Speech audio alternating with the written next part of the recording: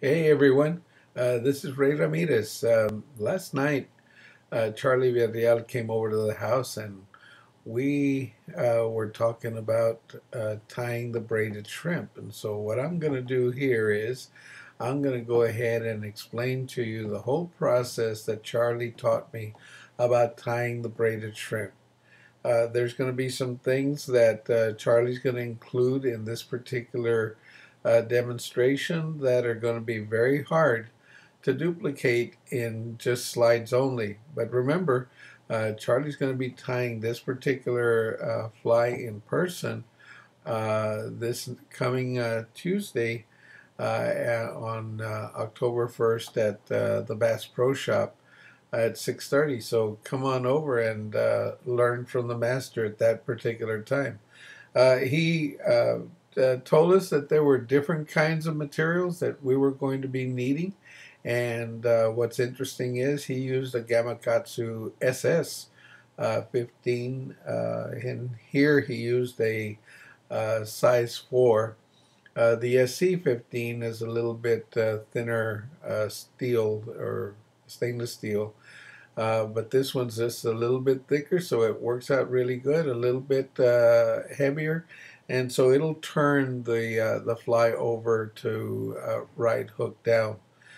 Um, as far as thread is concerned, he uses two types of thread. One is a brown thread uh, for the body, and then a red thread for the tail, so it'll match the color of the uh, of the uh, different uh, sharpie, which is going to be a red sharpie. However, I'll talk more about this at the very end. And we used 140 denier uh, thread.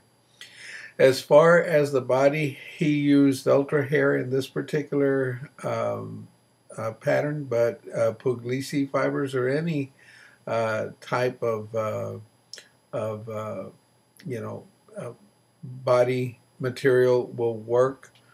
Uh, as far as the eyes, he used a black medium bead chain eyes, and this uh, is light enough to keep the fly from turning over.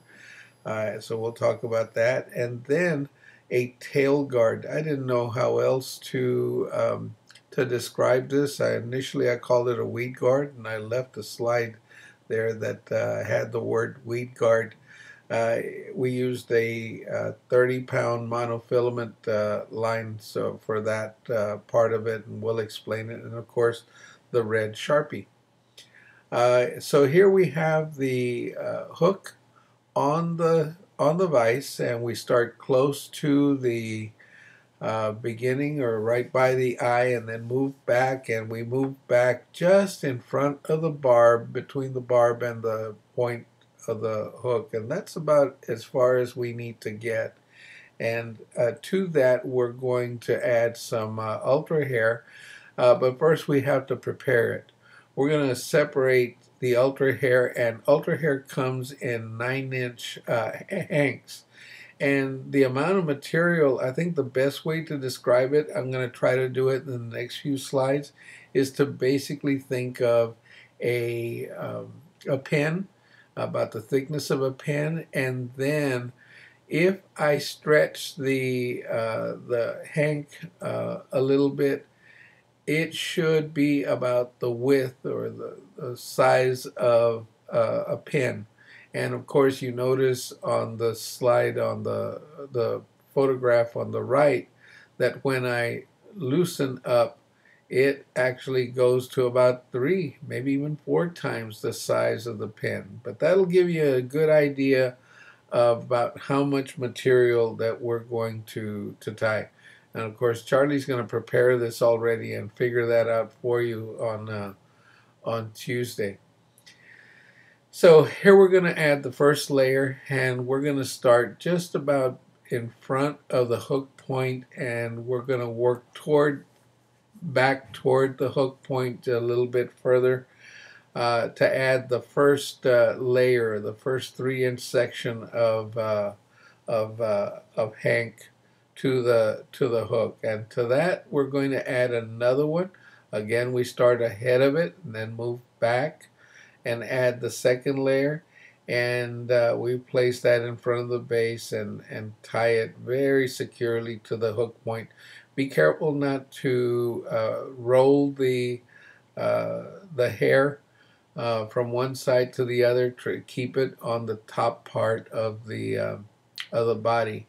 And then we do the same thing with the third one. And here in this particular case, it's a little bit longer and it's not trimmed there, but we did trim it uh, when we actually put it in in the uh, preparation.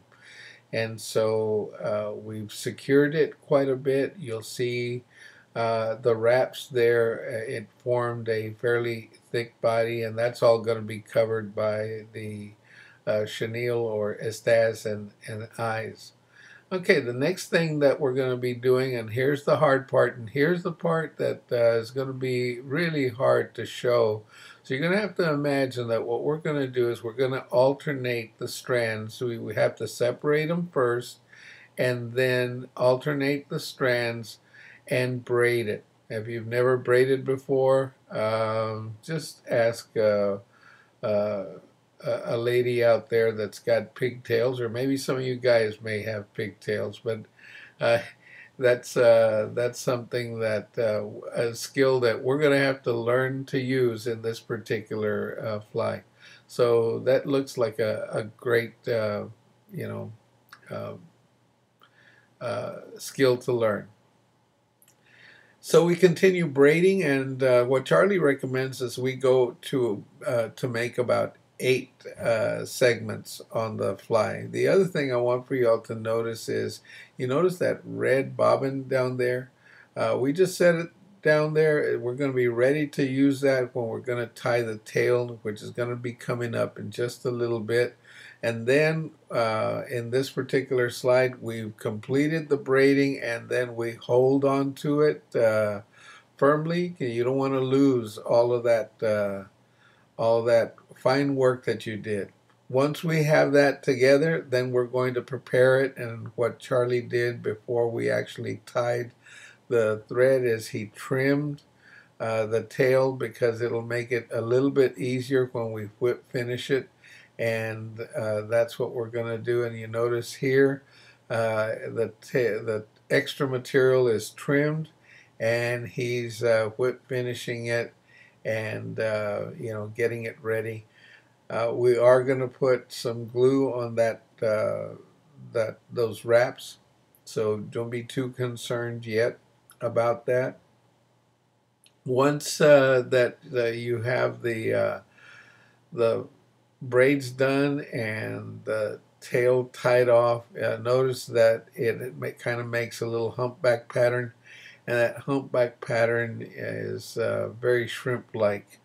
What we're going to do now is we're going to go ahead and put uh, here again I said a, a weed guard but I, really a tail guard and this is going to be done so that we can keep the tail uh, the braids right there from uh, fouling the hook so uh, what's done right here is uh, the uh, 30 pound monofilament is tied on one side and then taken to the other side on the top and eventually that uh, that tail is going to go uh, up above that, and the the uh, tail guard's going to go below. So here's how we do that. Once we've secured one side and then secured the other side, you have the wraps, and then what we begin to do is position the tail by having it and taking it between the the tail guard and we continue going through that and then right here it basically is up on top and uh, we have now something that looks a little shrimpy. Now we're going to put the body and what uh, Charlie recommends is that we use some Estaz. This is a very interesting Estaz. It comes from Grandi UV Lights and it's called uh, Glisten Floss Fibers and he's using a little peach color here uh, to kind of make uh, a uh, a match to the tan uh, uh, ultra hair. Then it's wrapped around. Once it's tied on, it's wrapped, And if you have a rotary vise, well, that's simple. Just hold the uh, staz and then turn the uh, the head till it gets completely wrapped. As you go forward, don't go too, too far. Give yourself a little bit of space at the end because you're going to put eyes. And the type of eyes that uh, Charlie recommends are these uh, medium uh, bead chain eyes. And you're going to cut, uh, you know, a link uh, so that you have two on either side. Uh, you all know how to do that. And then you figure eight wrap it so that it's stuck up on top. The eyes, if they were too large, would be heavy enough to flip the fly over. These do not seem to be uh, that heavy, and uh, you can go ahead and, and wrap it all through. Once you've got it wrapped, you tie it off, and then the next thing that you're going to do to that is uh, add some crystal flash to create an antenna. And that antenna, not the best photograph, but you can see the antenna is is moving back uh, beyond the eyes.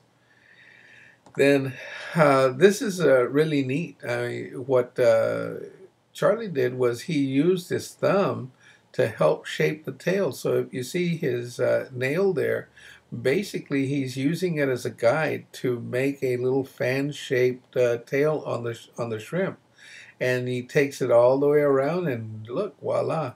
Now, what he also will do is once that uh, tail is is done, he doesn't he uh, trims the top and the bottom of that particular tail and and thins it out a little bit before he adds to it uh, some uh, some of that uh, uh, red paint from the Sharpie, and it will now give it that that color that that you need to have for the tail. And of course, uh, Charlie says the color fades, and he's fished this enough to know that uh, Sharpie's not going to last forever. So uh, you might want to carry a Sharpie around, and if uh, it does fade, either change the shrimp uh, or uh, you know get it get it bright again. once it's done, that's pretty much it. This fly is really quick. Uh, the hardest part is going to be the braiding. Uh, and uh, if you notice the the red thread at the tail and the red uh, tail itself uh, match, as you go to different uh, patterns, you're going to go ahead and basically, you know, change the color of the thread that to match the the color that you're going to put on the on the tail. That's a little attractant. Uh, the one that Charlie likes the most is that white with the red tail. Uh, but this uh, one that we tied today, that particular color, to me seems like it's really good to match for for redfish. Okay, well I hope uh, we get to see you all uh, this coming week and learn how to tie this particular fly from the master. So thank you all very much, and we'll catch you all on the next one.